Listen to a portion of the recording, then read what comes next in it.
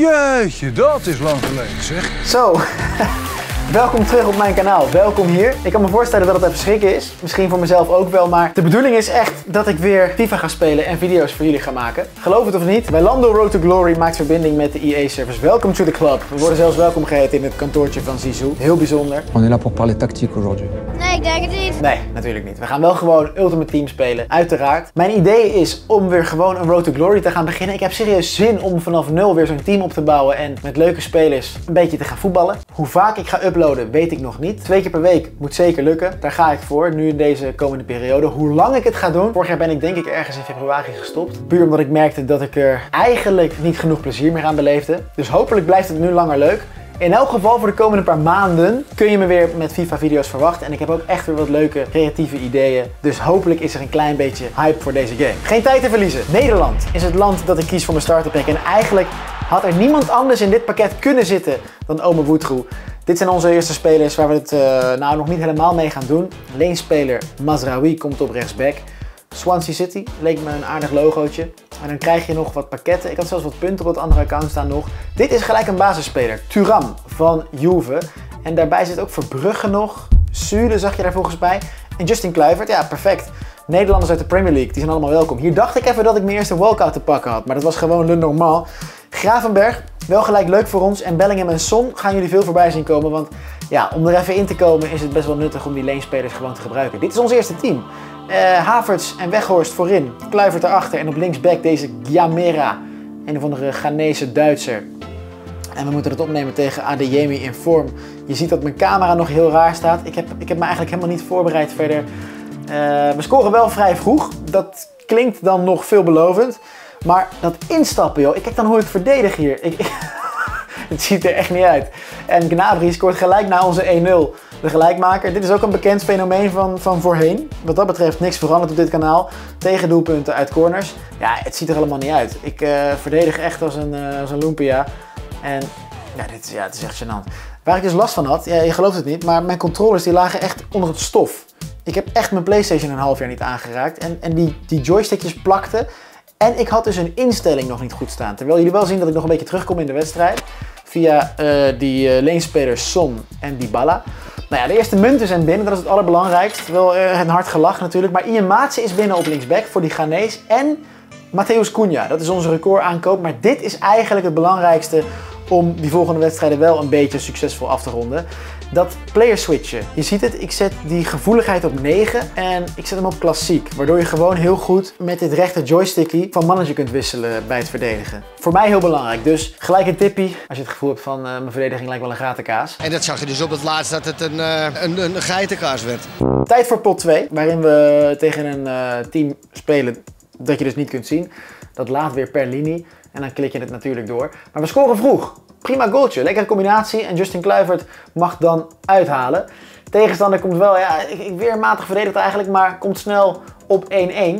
Hoewel, snel, maakt allemaal niet zoveel uit. Dit is een goede actie van Cunha, maar hij strandt en stuit op de keeper. Gelijk spelletje dus. En zo zijn we een beetje traag begonnen. Um, maar Dumfries is meteen de man die ik op rechtsback in gedachten had. Ik zag dat er zo'n evolutie was voor een rechtsback en dus komt hij meteen in de ploeg. En is dit ons nieuwe elftal. Ian Maatsen en Cunha zijn toch wel twee belangrijke versterkingen. Havertz heb ik in de spits staan. Ik dacht dat is prima, die pakte ik ook. Dat is een prima uh, afmakertje. Niet de allersnelste in deze game, maar ja, dit, dit, dit, gaat natuurlijk niet goed op deze manier. Twee keer op de paal. Maar goed, de aanhouder wint. Drie keer scheepsrecht. En dus is hier Kai Havertz. Oh, dit is wel zijn kwaliteit, jongens. In die korte hoek zo naar binnen komen vanaf, uh, vanaf de rechterkant als het ware. Beetje zo half uitzakken vanuit de spits. Nee, ik maak het moeilijker dan het is. Maar in elk geval, korte hoek, hard rammen met zijn linkerpoot. En dat groen timen is ook niet zo heel moeilijk dit jaar, van mijn gevoel. Misschien omdat ze er gewoon niks aan veranderd hebben ten opzichte van de vorige game. Maar dat gaat best wel, best wel goed. Kijk, hier, identieke goal. Half naar binnen komen en met links uithalen. Deze Williams, kijk hoe hij nog voor die, voor die keeper bij de bal komt. Vreselijk irritant. Mensen hebben hem dus al in een uh, evolutie gegooid. Is gewoon een hele goede spits. Maar Havertz heeft het balletje eindelijk een beetje onder controle en hij weet het net weer te vinden. Al komen we hier toch weer achter en gaan we dus weer niet winnen. Het is echt heel tragisch. Maar um, Bellingham, leenspeler Bellingham, moet ons hier aan de 3-3 helpen. Het is echt uh, heel pijnlijk allemaal. Heel traag begonnen. Maar pot 3 is dan hier voor ons. Dat moet gaan gebeuren, want Matthäus Cunha ontsnapt. En, oh, echt voor het eerst een hele lekkere goal. Weer groen getimed, probeer ik dus veel te doen. Gravenberg is wel een aardige speler op het middenveld, zeker als je hem weer van die uh, evoluties kan gooien. En ja, Dumfries, die, die wordt hier echt gewoon gelanceerd werkelijk. Hij uh, grijpt in mijn ballen, maar dan moet ik ook zeggen, ja, het is ook moeilijk om ernaast te grijpen. Dus uh, dat betekent dat hij de zwakste is op dat moment. Scheidsrechter gedecideerd en Dybala, onze leenspeler, mag hem dan benutten. Dan is dit Zule die nog heel even aan de noodrem trekt. Allemaal prima, want onze eerste zegen is binnen.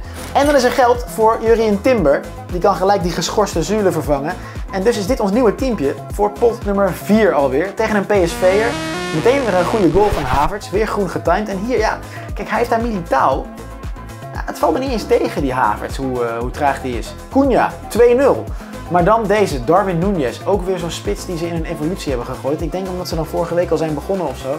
Dat er toen een spits-evolutie gaande was. Geen idee. Maar hier is Havertz weer. Gakpo, what the fuck is dit? Zieke vrije trap. En dan Nunez. Hij kopt hem half achter, achterover vallend. Toch weer 3-3. Maar Justin Kluivert. Oei, lekker goaltje. 4-3. Dan is het eigenlijk gewoon een beetje uitspelen. En zie je hier hoe mijn wisselspeler Tavernier met die L2 telkens de bal afschermt. Aardige dribbel en, en lekker binnengewerkt. En dus is onze tweede overwinning binnen. Dan, was het onze tweede overwinning? Derde alweer. Ja, onze derde alweer. Dit is pot nummer 7 en die Kai Havertz komt echt een beetje los. Het is echt niet te geloven. Goeie goal. Slecht verdedigd natuurlijk ook van onze tegenstander met een soort Go Ahead Eagles tenuutje. Of is het zelfs Go Ahead Eagles? Ik weet het niet. Kai Havertz, ja, hij wandelt overal doorheen. En als hij er niet doorheen wandelt, dan krijgt hij hem weer mee van een tegenstander. 3-0. Tijd voor de eerste rage quit, dat dacht ik ook. Drie keer Havertz. Topspits dus. En Dumfries is uh, ineens gewoon bijna helemaal geëvolueerd. Ondertussen pakken we wat dingetjes uit allemaal van die doelstellingenpakketten. Grealish, net niet goed genoeg voor de basis. Maar Nathan Ake, ja, dat is natuurlijk gewoon prima. En hij gaat centraal achterin naast Jury en Timber. Ja, Grealish, ja, hij past er net niet lekker in eigenlijk. Vooral niet met die 4-3-2-1. Maar goed, Ake laat zich hier gelijk zien. Moeilijke wedstrijd, na een uur spelen nog steeds niet gescoord. Ake, ja, redelijk snel. Ik heb het gevoel dat hij iets sneller is dan vorig jaar, maar ik kan ernaast zitten. 76 pace heeft hij volgens mij. Ja, is best aardig. 84 rated. Dit is echt lekker.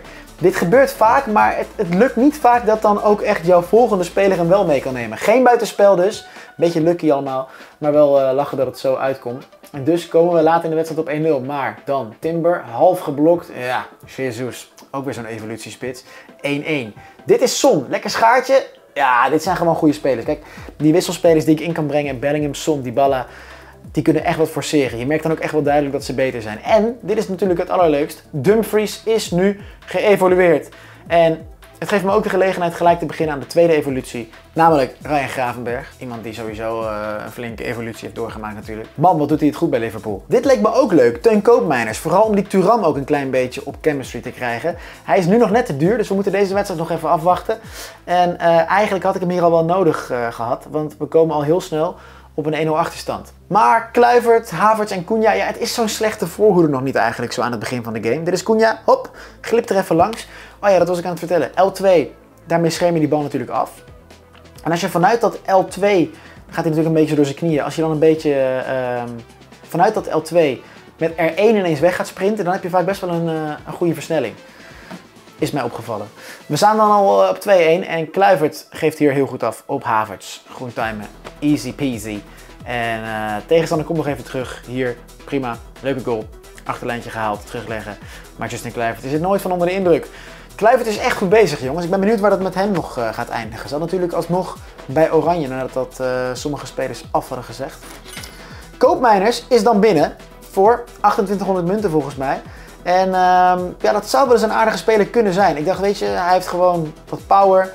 Overal goed, technisch goed. Um, op de paal.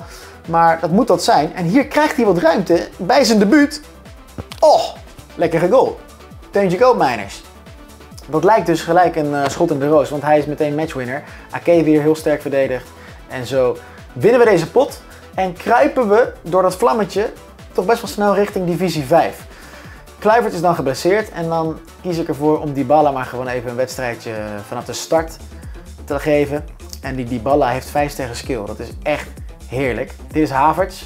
weer slecht verdedigd. Ik denk dat heel veel mensen er moeite mee hebben op dit moment. Als jij dat hebt, echt, kijk even terug dus. Ik heb het net uitgelegd, misschien heb je het geskipt, maar ehm, dat rechte joystickje dus. Die moet je even goed instellen. Vind ik heel fijn om daarmee te switchen. Dit is Dybala. Oh, goede goal na een goede skill move. 3-0. En dus weer een rage quitje. En zo uh, ja, gaat het met Gravenberg eigenlijk ook al heel hard. Want die gaat nu al naar zijn eerste tussenstop. Terwijl wij naar divisie 5 gaan, gaat hij dus naar deze 80. Dan zijn er nog twee tussenstops. Hij gaat niet naar een uh, volgende rating, maar krijgt er wel zo'n speelstijl plus bij, geloof ik. En wat van die in-game stats die dan toch nog beter worden. Maar ja, het zal maar wel. Cunha, goede actie. Weer met dat R1 versnellingje. Echt een zieke goal. Dan slaan we hier even heel wat over. Want dit is echt een kermispot in divisie 5. Grealish, goede actie. Kom naar binnen. Groen getimed. Ho, lekkere goal. De lateral heel-to-heel flick. Ouderwets skill move, maar werkt wel goed. En hier komt Grealish weer. 1 op 1 met de keeper. Nu geplaatst. Jongen, jongen, jongen, jongen. Dat werkt echt voor geen meter. Je moet gewoon strepen, dat is echt wel duidelijk. Binnen een paar maanden kan het weer anders zijn, maar op dit moment alles gewoon hard strepen en niks plaatsen. Ik heb geluk, want die 6-6 komt er toch nog. Zo moet het dus. Gewoon hard rachen. 6-6 in divisie 5 tekenen we voorlopig voor. Gewoon slecht verdedigd. Je komt tegen wat betere uh, teams af en toe. Deze man hier heeft bijvoorbeeld Sala en Haaland. Ja, ook gewoon slecht van mij, slecht verdedigd uh, en mooi afgemaakt. Het was een close call deze pot. En gelukkig komen we wel weer langs zij. Dit is Gravenberg. Die kijkt even, hop, Cunha, weer zo'n snelle voetbeweging. En ja, dan gaat hij met dat keepertje naar de lange hoek. Dat is uh, altijd het moment waarop je voor de korte hoek moet gaan. Dat is uh, vrij logisch. Ja, dit was heel slecht balverlies van mij. Ik, ik, weet niet wat ik daar nou wilde met die paas. En dan stap je ook nog een keer verkeerd in. En wordt het in de allerlaatste seconde 2-1. Beteuterde koppies bij onze spelers. Dit zijn de harde wetten van divisie 5 jongens, daar komen we nu achter. En koopmijners moet het dan ontgelden. Ik ga koopmijners dus gelijk weer lozen. Kovacic en Caicedo doen hun intrede op het middenveld. Kovacic had ik nog ergens uh, in een packie van de doelstellingen volgens mij. Terwijl Isaac hier twee keer scoort en Caicedo heb ik voor 3000 munten gekocht. 2-0 achter dus. En op dit moment denk ik al van oké, Isaac dat wordt ook onze spits. Maar net als ik dat denk, komen we terug. Kluivert, en dan onze spits, Kai Havertz. Die moet hier dus laten zien dat hij het waard is om onze spits te blijven. En oh, dit is echt een goede goal. Sleepy, groen getimed. Havertz heeft mijn hart toch weer gestolen. En dit is Gravenberg met een 3-2. Echt een goede goal in een leuke wedstrijd. Um, ja, dit is vervelend, maar Isaac maakt er wel weer 3-3 van. En dan gaan we voor de 4-3, maar oi, oi, oi, oi, oi, we worden afgefloten. Het zit ons nog niet mee in deze nieuwe divisie. Onze sterspelers van de bank, Son en Dybala moeten ook nog eens pleiten. En hier zie ik dat die Caicedo op box-to-box stond. Maken we even controleur van. Heb ik verder nog niet heel erg naar gekeken. Maar goed, dat is wel een klein nieuw tactiekje. En dit is dan wedstrijd 15 van deze video. 15. Dat is dus ook uh, het nieuwe Weekend League format. Nou, ik vond het slopend, deze eerste 15 potten. Wel weer leuk. Op zich wel, wel leuk om te spelen en leuk. Dat heb je altijd aan het begin van zo'n game, want dan kun je eigenlijk elke paar wedstrijden wel weer een paar upgrades doen. Dus dat vind ik ook gewoon lachen. Terwijl dit Havertz weer is. Ja, die blijft wel scoren. 2-2. Lastige pot. Deze man had Ronaldo, zoals jullie zagen. En dit is dan ja, de manier waarop het even moet gebeuren. Gravenberg met de 3-2. Lucky. Maar dat doet er even niet toe. Onze eerste overwinning in divisie 5 is binnen. Gravenberg is nu bijna bij zijn tweede tussenstappie. En dit is ons team na één dag EAFC 25. Road to Glory. Thanks voor het kijken. Hopelijk vonden jullie het leuk. En hopelijk gaan er nog veel ongelooflijk succesvolle video's volgen. Thanks nogmaals. Adios. Ciao, ciao.